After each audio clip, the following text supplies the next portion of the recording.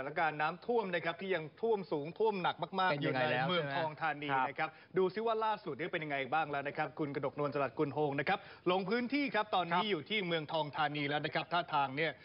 ท่วมหนักไม่เบาเลยนะครับเชิญเลยครับคุณกระดกนวลครับ ค่ะสำหรับสถานการณ์น้ำท่วมขังที่บริเวณเมืองทองธานีนะคะ ขณะนี้ระดับน้ำเริ่มลดลงแล้วค่ะ เหลือแต่เพียงจุดที่ดิฉันยืนอยู่นะคะ ซึ่งจากด้านหลังนะคะ ก็คือจะมุ่งหน้าไปยังถนนติวานนท์ค่ะ ส่วนทางด้านซ้ายนะคะ ก็คือจะมุ่งหน้าขึ้นไปสู่ทางด่วนนั่นเองค่ะ ซึ่งระดับน้ำตรงนี้นะคะ สูงถึงประมาณ 20 เซนติเมตรค่ะ หรือว่าประมาณครึ่งล้อรถยนต์นั่นเองค่ะ ซึ่งจุดนี้นะคะ ถือว่าเป็นจุดที่น้ำท่วมขังสูงที่สุดของบริเวณเมืองทองธานีเลยค่ะ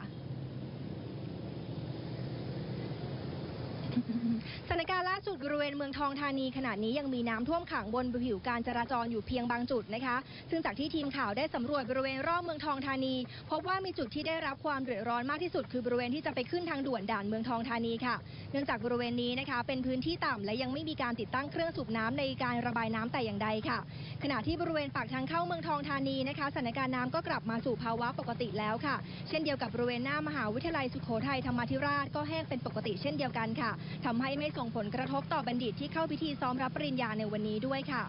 ส่วนการระบายน้ำนะคะ ทางเทศบาลนครปราเกร็ดได้เร่งสูบน้ำลงคลองบางพูดอย่างต่อเนื่องค่ะทำให้น้ำไหลระบายได้เร็วขึ้นตั้งแต่ช่วงดึกที่ผ่านมาค่ะ ซึ่งคาดว่าหากวันนี้นะคะ ไม่มีปริมาณฝนตกลงมาเพิ่มอีกนะคะ ก็จะสามารถระบายน้ำให้กลับมาสู่ภาวะปกติได้ภายในวันนี้ค่ะ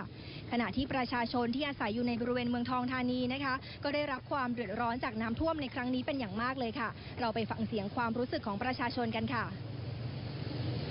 ก็เดือดร้อนเกี่ยวกับเรื่องรถสัญจรไปมามาทำงานลำบากครับผม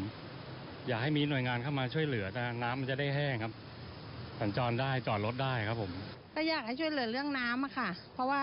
น้ำในเมืองทองมันท่วมบ่อยมากเลยฝนตกนิดเดียวก็ท่วมฝนตกมากก็ท่วม แบบรถมันไปไหนมาไหนลำบากอะไรอย่างเงี้ยค่ะ และจากด้านหลังดิฉันนะคะ จะสังเกตเห็นได้ว่าการจราจรบริเวณนี้นะคะ เริ่มที่จะติดขัดแล้วค่ะ เพราะว่ามีรถที่จอดเสียอยู่เป็นระยะเลยนะคะ และหากคุณผู้ชมค่ะ ที่จะสัญจรมายังบริเวณเมืองทองธานีในวันนี้นะคะ ควรที่จะหลีกเลี่ยงเส้นทางและก็ใช้เส้นทางอื่นน่าจะสะดวกที่สุดค่ะ